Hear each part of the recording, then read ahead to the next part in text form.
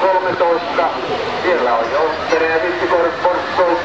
Ykkösellä odotetaan, kun Teri rätti pysähtyy. No niin, nyt ole, olkaa hyvä. Piti Oska, Outi Rautiainen, Luxilausta lähtee kopista yksi. Kakkosella Pimern Marka sai lähtee kopista neljä. Ja kolmosella Teine Art Novo Tarja Savinen lähtee koira kopista kuin viisi. Selvä. Jäi kun tien liikkeelle.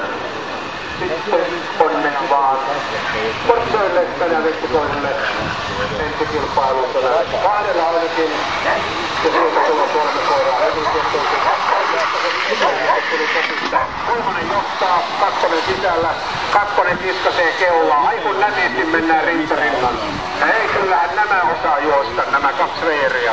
Kakkonen, kolmonen ja sitten alkaa varsinainen kilpailu. Kolmonen kiristää, ja painaa. Noin! Se on kolmonen sisään, nyt mennään. Mutta kakkonen vastaa, ei tässä anneta periksi tippaakaan.